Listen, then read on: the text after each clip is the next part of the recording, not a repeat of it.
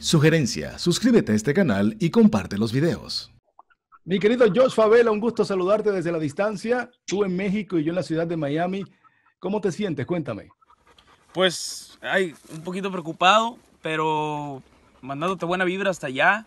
Acá todavía este, no detona de la manera que vemos que en otros países, otras ciudades, otros estados ha detonado. Aquí estamos pues muy en lo solo, eh, en el rancho que tú conoces, que, que, nos hiciste favor de visitar hace algunos años cuando lanzábamos nuestra carrera, fue de las primeras entrevistas o la primera que hicimos, este, y bueno, siempre agradecido por eso, aquí está tu árbol, el árbol que plantaste aquí, este, está acá en el rancho abajo, me tuve que subir esta lomita para que haya señal, pero te mando un abrazo muy fuerte, amigo. Recuerda la parrillada que hicimos, bueno, que usted, tú me hiciste ese día, qué delicioso estaba. Yo, yo, yo hace carne para ti. Quería preguntarte, eh, ¿qué medidas estás tomando para evitar el contagio con esta pandemia? Pues distanciamiento social absoluto, estamos aquí en lo, en lo solo, como te digo, reunidos como familia.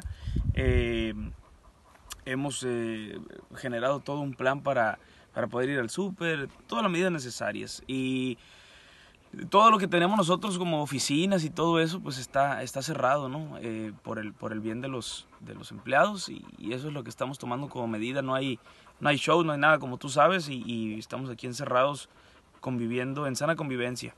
¿Algún familiar o amigo que haya sido contagiado? Amigo, este, amigos, tengo algunos amigos que, que en su viaje a Europa eh, fueron contagiados, están estables, están... Eh, no, no hay un desenlace este, triste de esta, de esta historia. Están aislados y en recuperación. Parece que todo bien y, y, si Dios quiere va a estar bien todo, pues. Son días de, de, grandes retos para los artistas, ¿no? Para los medios, para la comunicación. ¿Cómo has hecho para lanzar tu música, para estar en contacto con ese público que te sigue? Pues he tratado de hacer en vivos. De hecho, vamos a hacer otro pronto, el 10 de, de, de este mes.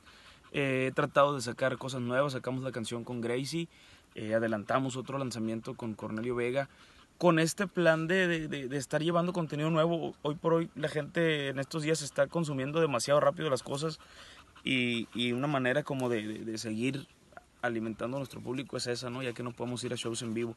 Seguimos este, escribiendo, y, es básicamente todo lo que estamos haciendo por acá. No hay mucho, eh, no nomás los artistas nos hemos afectado, yo creo que la economía en general, la gente que, que a lo mejor este, vive de empleos que son de día a día eh, y, la recuperación y captación de dinero para ellos como familias es diaria, pues obviamente dejar de trabajar no es lo mismo, ¿no? Entonces eh, se ha puesto un poco complicado y en medida de lo posible cuando nos toque ayudar acá por acá en el rancho lo, lo haremos si Dios permite. El presidente de México ha recibido muchas críticas porque alegan de que no ha sido muy eh, riguroso ¿no? con las medidas para prevenir el contagio.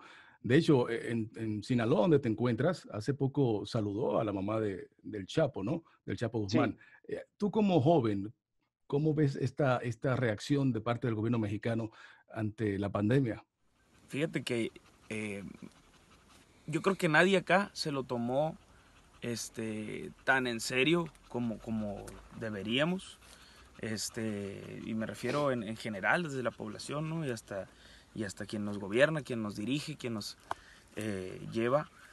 Siento que sí nos faltó un poquito de seriedad en el tema y espero que, que, que no tenga repercusiones demasiado grandes acá con nosotros, porque obviamente nuestro sistema de salud no es un sistema de salud de primer mundo. Eh, y si los que tienen primer mundo en eso están batallando, no quiero pensar lo que pudiera pasar por acá. Estamos, estamos pensando positivo, estamos queriendo que, que, esto pase de la mejor manera y que, y que de alguna forma, eh, por la magia que siempre ha tenido México, amigo, y te lo digo desde, desde el punto de vista así de un más que nada soñador, ¿no? Siempre hemos tenido algo que, que nos salva de todo, viejo, ciclones, de huracanes, tiene algo México y estamos este, llamando a ese algo para que, para que nos ayude en esta, en esta travesía, en este, en este momento tan, tan duro a nivel mundial. Y, pero sí, obviamente, retomando tu pregunta y no la esquivo ni la quiero evadir, siento que nos faltó como población tomarnos más en serio esto. Este, cuando vimos que esto estaba pasando aquí, seguían las cosas normales, ¿no? Todo, o sea, no, no pasa nada, no pasa nada, sí pasa, ¿no? Pero, pero bueno, eh, aquí nos tocó vivir y aquí nos toca este, afrontar lo que venga.